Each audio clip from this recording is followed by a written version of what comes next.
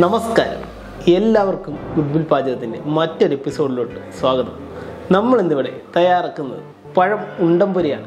നമ്മുടെ ഏത്തപ്പഴം നന്നായി പഴുത്ത് കളയേണ്ട ആവശ്യമില്ല. നമുക്ക് അത് വെച്ച് പഴം ഉണ്ടംപൊരി എങ്ങനെ തയ്യാറാക്കാമെന്ന് നമുക്ക് നോക്കാം.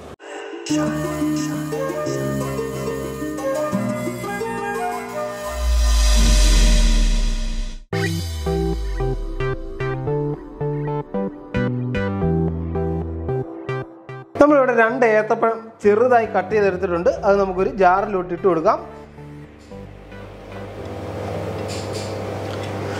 ഇനി നമുക്ക് അഞ്ച് ടേബിൾ സ്പൂൺ പഞ്ചസാര നമുക്ക് ഇതിലോട്ട് ചേർത്ത് കൊടുക്കാം. നമ്മുടെ മധുരത്തിന് ആവശ്യമായിട്ടുള്ള പഞ്ചസാര ചേർത്ത് കൊടുത്താൽ മതിയാവും. ഞാനിവിടെ ഒരു അഞ്ച് ടേബിൾ സ്പൂൺ ചേർത്ത് കൊടുക്കുന്നുണ്ട്. ഇനി നമുക്കൊരു കാ ടീസ്പൂൺ ബേക്കിംഗ് പൗഡർ നമുക്ക് ചേർത്ത് കൊടുക്കാം. ബേക്കിംഗ് സോഡയല്ല ബേക്കിംഗ് പൗഡറാണ്. ഇനി ഒരു കാൽ ടീസ്പൂൺ ഉപ്പ് നമുക്ക് ചേർത്ത് കൊടുക്കാം. ഇനി നന്നായി ഒന്ന് നമുക്ക് നമ്മുടെ പഴം അടിച്ചെടുക്കാം. നന്നായി തരിയില്ലാതെ അരഞ്ഞു കിട്ടണം. നല്ല കുഴമ്പ് പരുവത്തിൽ നമ്മുടെ പഴവും പഞ്ചസാരയും നന്നായി അടിച്ചെടുത്തിട്ടുണ്ട്. നമുക്കൊരു ബൗളിലോട്ട് ഒഴിച്ചു കൊടുക്കാം. ഇനി നമുക്കൊരു അഞ്ച് ടേബിൾ സ്പൂൺ മൈദ നമുക്ക് ഇതിലോട്ട് ചേർത്ത് കൊടുക്കാം.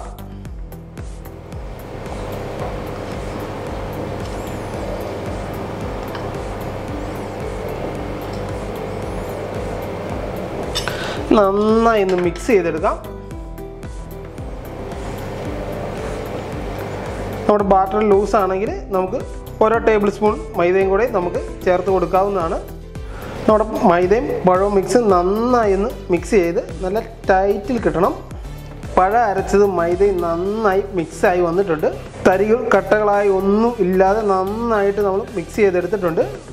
ഇനി നമുക്കൊരു അഞ്ച് മിനിറ്റ് റെസ്റ്റിന് വെക്കാം.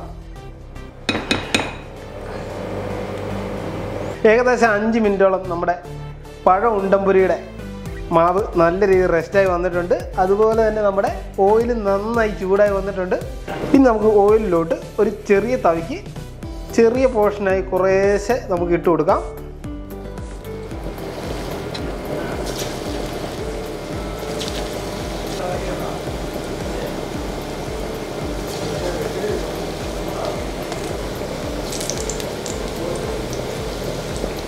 ഇനി നമ്മൾ പഴം ഉണ്ടമ്പരി ഒന്ന് നമുക്ക് മറിച്ചിട്ട് കൊടുക്കാം.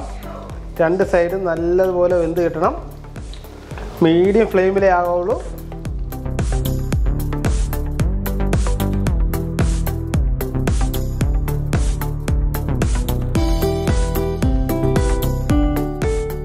അങ്ങനെ നമ്മുടെ പഴം ഉണ്ടമ്പൊരു രണ്ട് സൈഡും നന്നായി ഫ്രൈ ആയി വന്നിട്ടുണ്ട്. നല്ല അടിപൊളിയായിട്ട് മൊരിഞ്ഞ് വന്നിട്ടുണ്ട്. നമുക്കിനി കോരി ഒരു സ്ട്രെയിനറിലോട്ട് മാറ്റി കൊടുക്കാം.